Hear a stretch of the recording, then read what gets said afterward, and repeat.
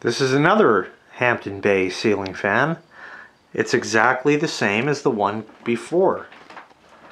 The only difference is the blades are flipped the other way for the other pattern on them.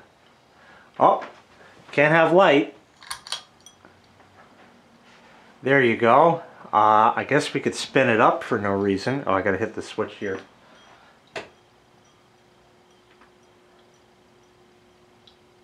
It has no appreciable startup sound except for a mild hum.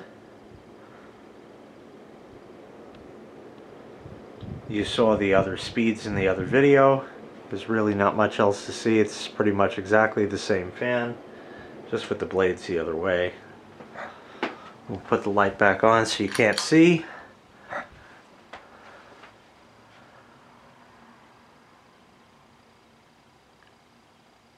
And that's it. Thanks so much for watching. Hit like, hit subscribe, and we'll see you next time. Bye-bye.